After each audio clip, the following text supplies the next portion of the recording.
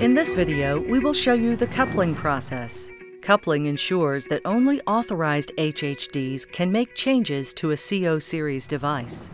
To begin, turn on the HHD, start the utility software, and log in as Manager.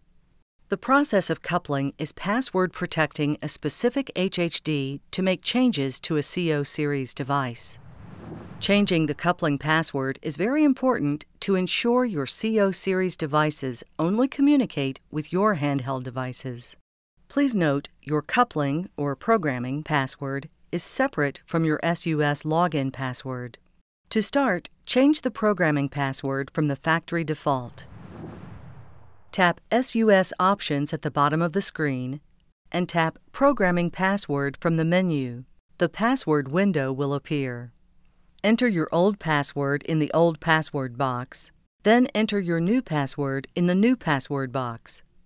Re-enter the new password in the Confirm New Password box, then tap Submit. The Password Changed Successfully message will appear.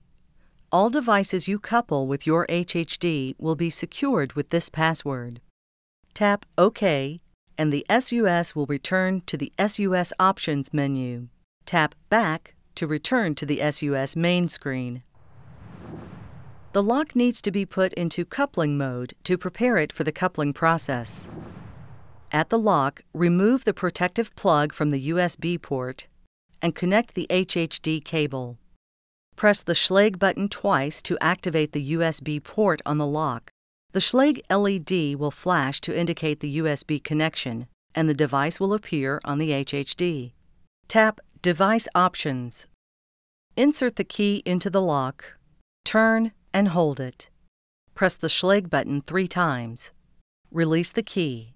The LED will flash to indicate the lock is in coupling mode. The lock will remain in coupling mode for 20 seconds.